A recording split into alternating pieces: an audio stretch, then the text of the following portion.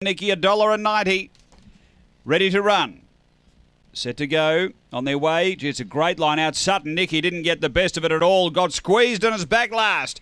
Yesteryear found the lead out of the straight. Prancer Dancer through to second. Railing hard as Yes Sergeant. Behind those, Alan Zander. Uh, two to stick figure. Then Sutton Nicky, Eva Knievel. And Chewiki Raider is back at the tail. Off the back, Yesteryear. About a length on the reserve, Alan Zander. Half away, Yes Sergeant. Running on out wider. Stick figure up to the turn. Yesteryear straighten the leader. Stick figures charging home. Yesteryear tackled by Stick figure and Stick Figure went home to beat yesteryear. Third home is Alan Zander. Then came Yes Sarge. Uh, next is Sutton Nicky. Uh, then we had Chewiki Raider with Prancer Dancer. It was back toward the tail end. A double for Tony Rasmussen. The run here is uh, 30 and 28.